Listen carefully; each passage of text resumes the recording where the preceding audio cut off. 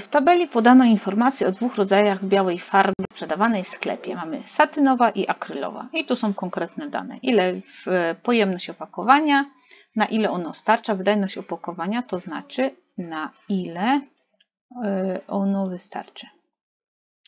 Czyli jeszcze inaczej można powiedzieć, jaką powierzchnię, o, wydajność opakowania, jaką powierzchnię możemy, możemy pomalować jednym opakowaniem farby.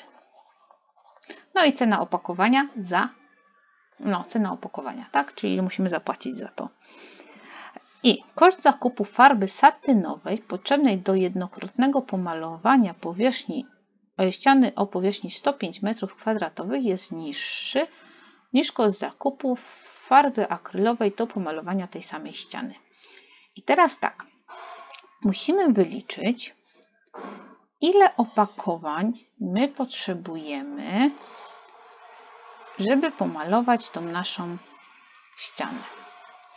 Czyli tak, dobra, to tu piszę tak, pod tym napiszę farba satynowa.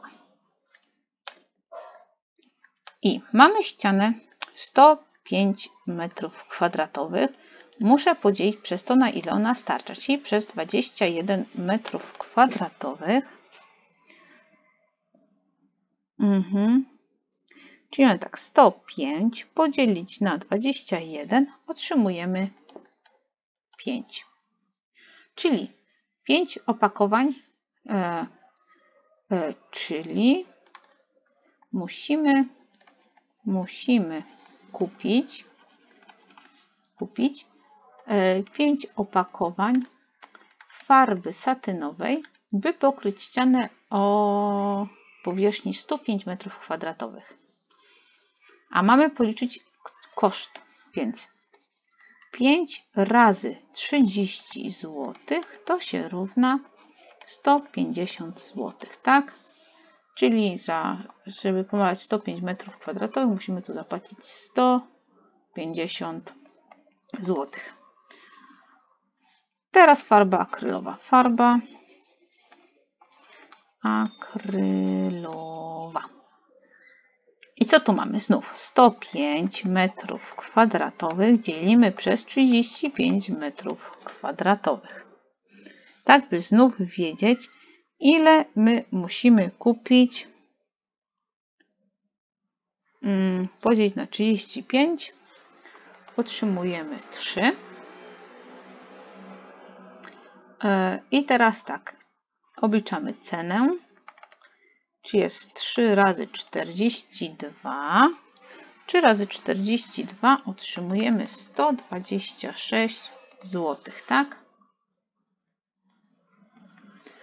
I teraz koszt zakupu farby satynowej potrzebnej do jednokrotnego pomalowania ściany o powierzchni 105 e, metrów jest niższy. Satynowej jest wyższy, więc to zdanie jest fałszywe, tak? Bo musimy zapłacić za farbę satynową więcej niż za farbę akrylowej, więc jest koszt wyższy, nie niższy. Farba akrylowa zakupiona za kwotę 210 zł może jednokrotnie pomalować większą powierzchnię niż e, farbą satynową zakupioną za tę samą cenę. Kwotę, przepraszam. No to policzmy. Znów farba satynowa, czyli tak mamy 210 zł musimy podzielić na 30 zł, bo tyle kosztuje ta satynowa, to mamy 7 opakowań, tak?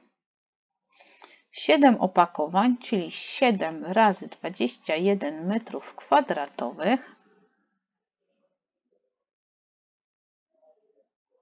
7 razy 21 to jest 147 metrów kwadratowych możemy pokryć farbą satynową zakupioną za 210 zł, tak? Jeszcze raz. Mamy 210 zł w portfelu. Idę do sklepu, kupuję farbę za 30 zł. Dają mi 7 opakowań. Wiem, że, te 7, e, że jedno opakowanie starcza mi na 21 m2. Więc zrobię 7 razy 21 m2 i wiem, że tyle ściany mogę pomalować tą farbą satynową. Teraz sprawdźmy farbę akrylową. I też mamy 210 zł podzielić na 42 zł, tak? Bo akrylowa kosztuje 42, czyli 210 podzielić na 42. Otrzymujemy 5. No i mamy 5 razy 35 metrów kwadratowych. To jest 175 metrów kwadratowych. No i teraz jeszcze raz. Farbę akrylową zakupioną za kwotę 210 zł można jednokrotnie pomalować większą powierzchnię niż satynową. Tak, zgadza się, bo tą możemy pomalować 175 m2, a tą tylko 175 yy, Teraz pokoloruję Wam różne rzeczy. Więc tak, to była farba satynowa, to jest ta część. To jest farba satynowa. I 21 metrów to było to, na ile ona jest wydajna. I wszędzie to 21 to jest to.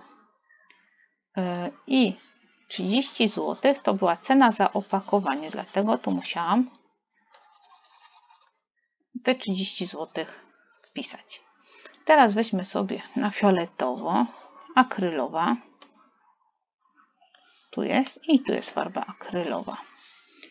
I tak, tu 35 metrów miałam. Na 35 metrów kwadratowych wystarczyło i jedno jej opakowanie. I ona miała cenę, taki jakiś może żółty, piskliwy, tu o, 42 zł. I dlatego tutaj te ceny też zostały wpisane. Yy, mam nadzieję, że dla Was to zadanie jest jasne, miłe i przyjemne.